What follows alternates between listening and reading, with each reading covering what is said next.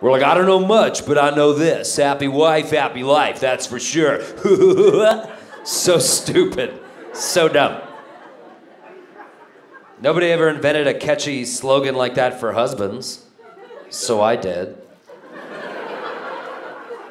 And it goes, Happy husband, why not bring your hot friend Jenny into the bedroom every now and again? And it doesn't rhyme, sure, but there's a reaching across the aisle that's so important in these divided political times. Every Christmas, one night with the mistress. I don't know, I'm just spitballing. Put it on a t shirt, see which sells the most. Let the merch decide. My wife hates that joke, but her friend Jenny loves it.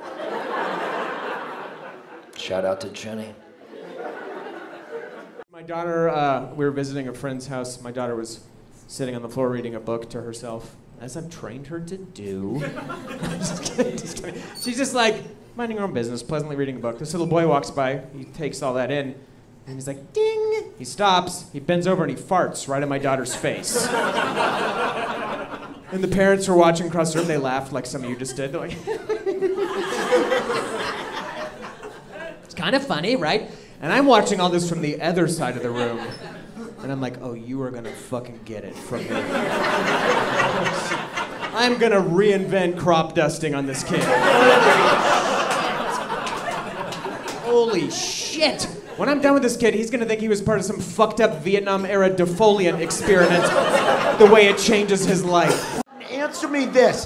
Why how are there more kids being born in Boston when that is the sound that comes out of everybody's face? Like think about it. How are people having sex when everybody fucking talks like this? That means that there are guys out there that want to be having sex with their wives, and in the middle of it, hear her go, Oh, yeah, Tommy, I want you to fucking pound my beaver. That's what I want you to do.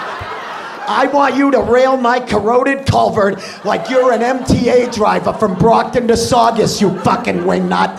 I want you to get on my back, and I want you to ride me like you're Paul Revere. That's what I want you to do. That's right, Tommy. Call the British up. You tell them I'm coming right now, Tommy.